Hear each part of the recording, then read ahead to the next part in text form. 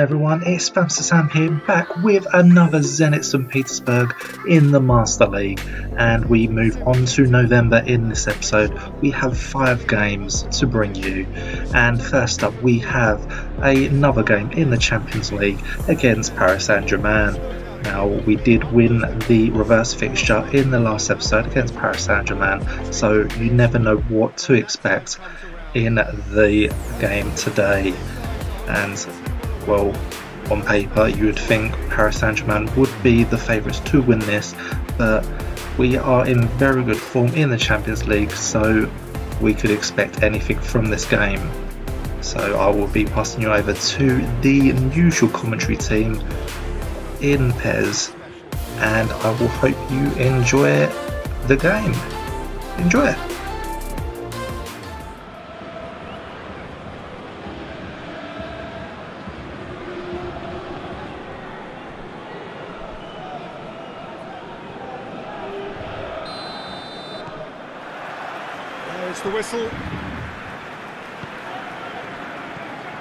Draxler. And it's Pablo Sarabia.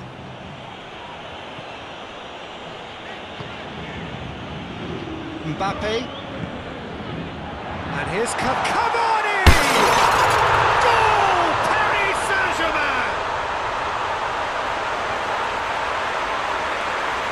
Perfect placement, the one place the keeper couldn't reach. Well, you know, sometimes it pays off not to think too much about things, just put your foot through it, and that was a good example. Great contact, and the keeper had very little chance.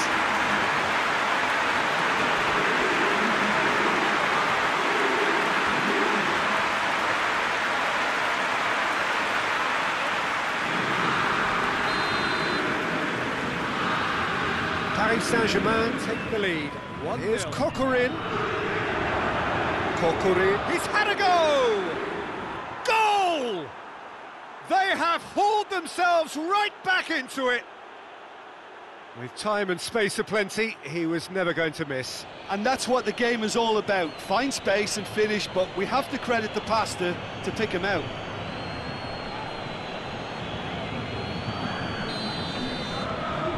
That has certainly made things interesting. Ball, who's going to get there? They've got it back as soon as they gave it away.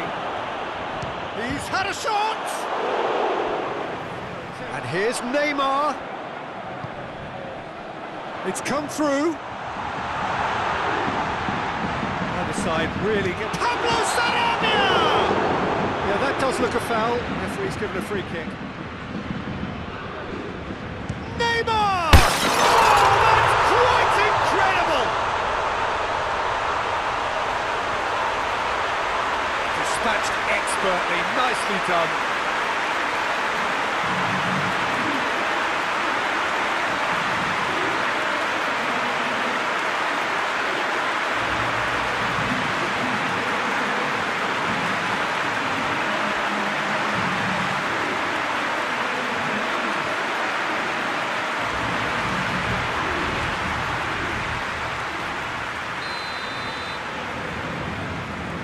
Paris Saint-Germain get themselves into the lead.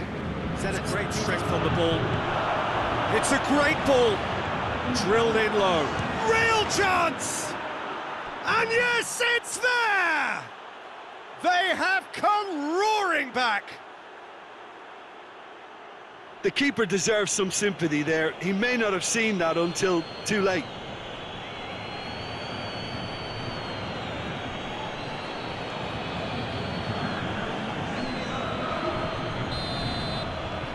Quite a thriller this one's become. Oh, I think the coach will really be annoyed with that. The players were still thinking about their goal. They just got caught napping. There's the end of the first half. And it has been a pretty crazy game so far. The game played out in extraordinary fashion, and the scoreline underlines that.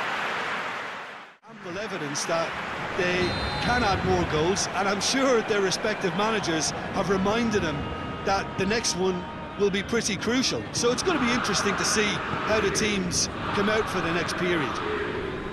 Terrific half, four goals. Bernat. Pablo Sarabia.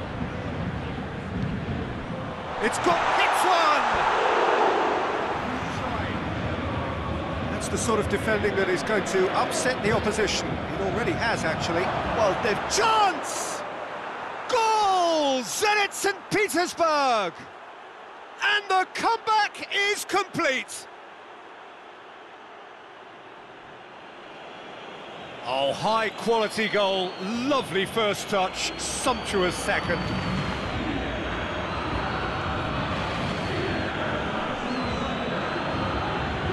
Paris Saint-Germain are able now to make their substitution. It's been on the cards for uh, a few moments now.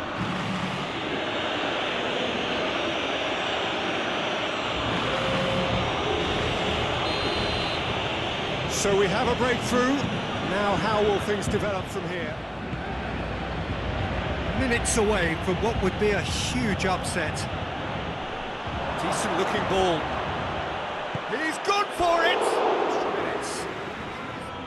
Zenit St. Petersburg need to hold on for a few more moments. Gets the better of his man. Defrel. So time is nearly up. One final twist, perhaps.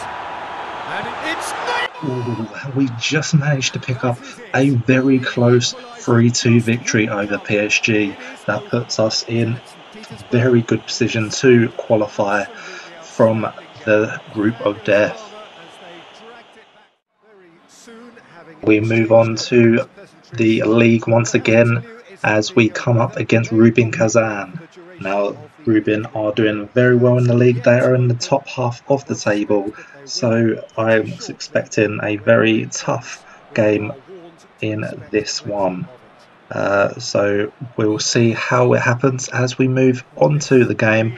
And once again, I'll be passing over to the PES commentary team to call the action. Enjoy! If you did just miss it, we are up and Smolnikov. It's a fine run and he's happy to keep going. Azmoun is onto it. Up he gets!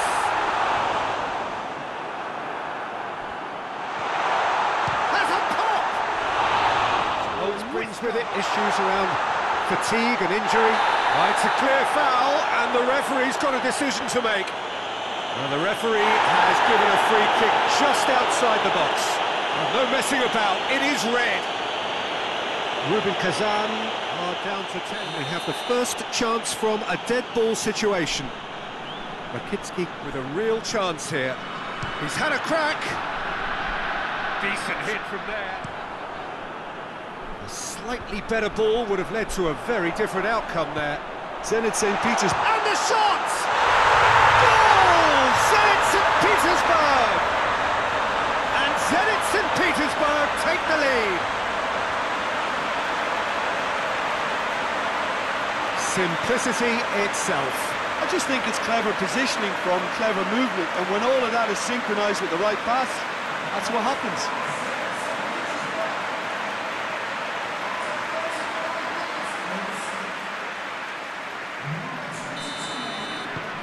Zenit St. Petersburg take the lead, 1-0. Goes for a sweeping cross.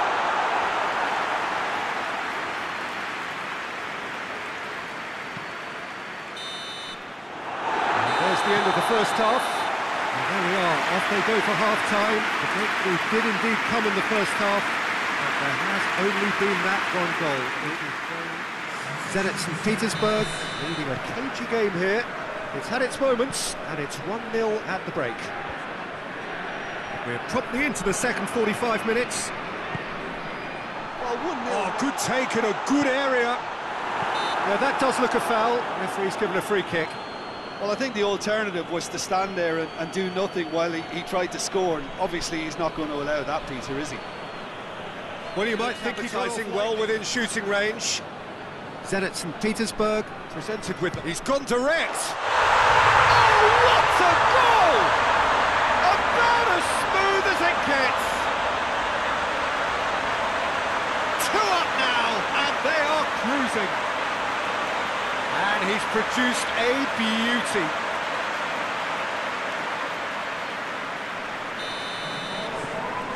Things starting to look very comfortable. Oh, with this... Looks to thread it through. Goes for goal!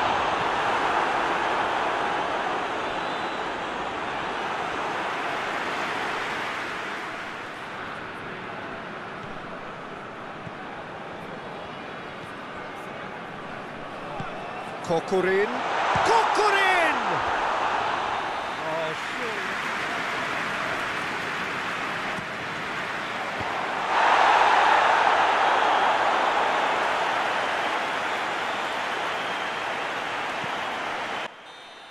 and we do manage to pick up the win and get those three vital points. It did help that Rubin Kazan did have a player sent off in the first half, but we managed to pick up the win and the very vital three points we so desperately need with goals from Dzyuba and a very lovely free kick from Rakitsky.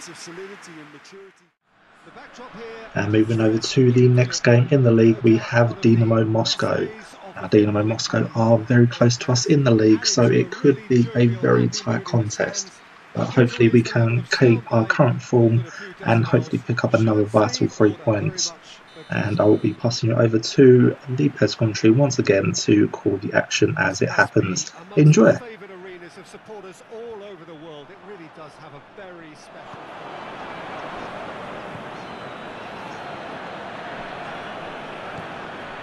A buccaneering run from the defender. Going for goal! No messing about, just bludgeoned away. Worth a try. Shame about the outcome. Oh, that's fantastic improvisation he showed there. Adjusted himself very quickly. Big chance! Goal! Zenit St. Petersburg! And Zenit St. Petersburg take the lead. I can give the keeper a little sympathy here because I think he might have been slightly unsighted. However, credit where it's due, it's still a fine finish from a tight spot. So we have our breakthrough. He's gone for it! Big relief. Oh, shooting chance! And this could be the final action of the first half. Gets good distance on it. And there's the end of the first half.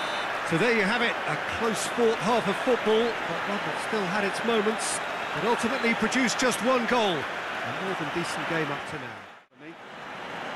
Zenit St. Petersburg head into the dressing room pleased with the thought that they have that all-important lead. Analysis to come during the break. If you're just back from your break, you've missed very little of the resumption of the second half. Zenit St. Now it's Kokorin. Kokuri, shot a goal! And in it goes! And with that goal comes comfort! The lightness of step, the sharpness of movement, the certainty of finish. That's always a great sight, you know, on a football pitch. Nimble-footed, show great balance and a really cool head to finish. And that kind of dribbling is really smart things starting to look very Plays it out to the flank. Here it comes. Up to meet it! Shoots!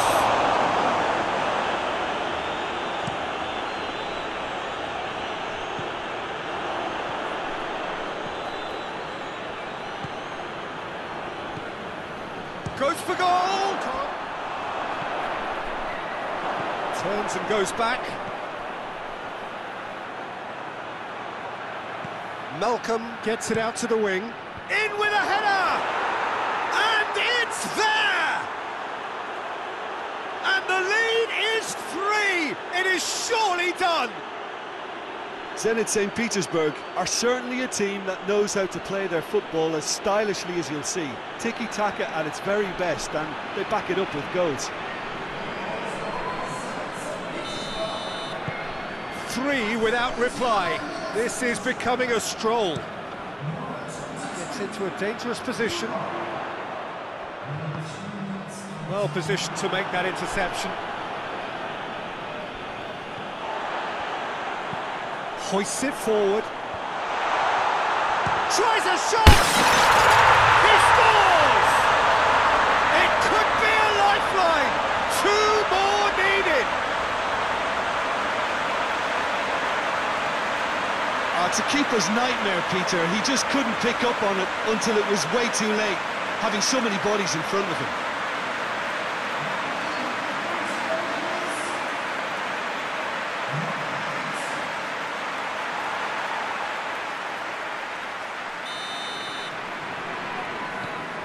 Dynamo Mo And coming to the end of that game, we managed to pick up the win. We managed to just concede at the end, but we've managed to get a convincing win. Nice goals from Driussi, Krokerin, and Dzyuba. But hang on a second, I think we've got a little bit of breaking news. Yes, Lucas Edmondson has been received a job offer from rival club Akhmat Grozny. Now we will have further word from the manager later on. So that was some very interesting news on that job offer. And we will now move our attention over to the next match. We have Manchester City in the Champions League. And once again, we'll hope for another three points. We're doing very well in the Champions League, so I'm expecting a big win here. I, I, I can't see where we're going to be dropping points. I, the competition don't seem to be pulling their weight, even though they should be. But I'm confident in the boys, and hopefully we get another three points and get through uh, very unscathed. And we'll pass you over to the commentary team once again to call the action. Enjoy! So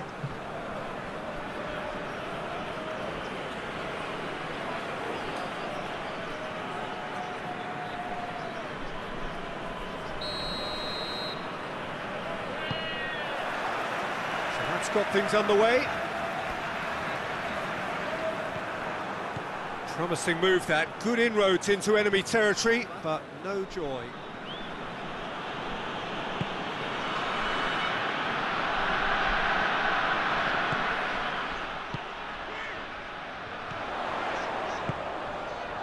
Surely, he shapes to shoot! Marvellous goal! There are always tactical adjustments for any coach to make at half-time, but when your star man gives you a critical lead just before the break, everyone will be paying extra attention. It really is the ideal tonic. Yeah, looking back at that, that's how you play on the counter. Quick and decisive and ruthless with the finish. I thought it was a stunning, stunning breakaway. Zenit St. Petersburg take the lead, landing the first significant blow in what is certainly a significant... Well, when the options aren't quite present in the box, it's the crosser's interest to uh, to hold on for the support. Azmoun has a pop! Possibly the last play of the half. Oh, no, it's own goal! Well, that wasn't in the script, and you have to feel for him, Peter. It's ended in uh, some embarrassment.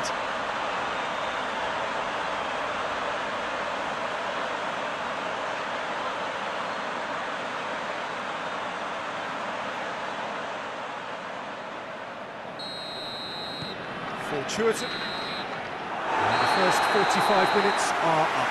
Well, it's hard to say whether a two-goal advantage under these circumstances is decisive or not, but so far, I haven't really seen enough to... In control at half-time, 2-0. So just 45 minutes to decide the fate of this group. And here's Sane. And it's Silva. Those changes we have been expecting.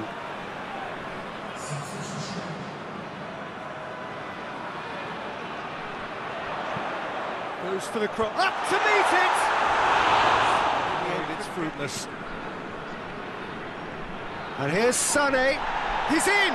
Aguero! Just off target. Great strength, too strong for his opponent. It's a loose ball. And the shot! It's in! Uh, deflection may or may not have made a difference. Little matter, it is his.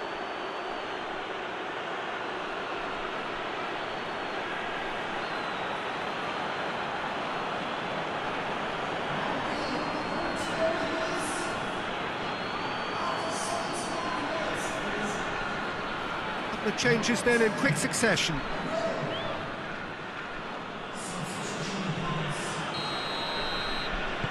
This is threatening to become a really good game. No question, that's a foul.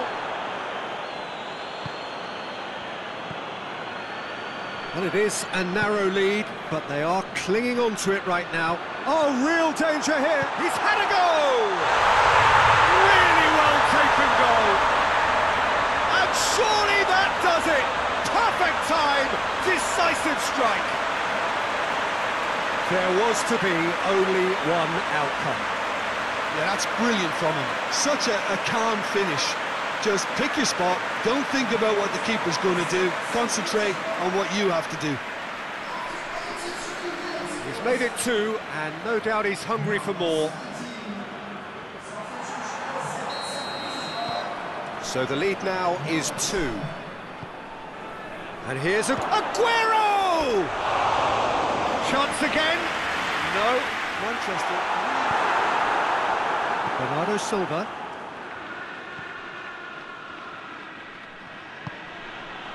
Stones. Zinchenko.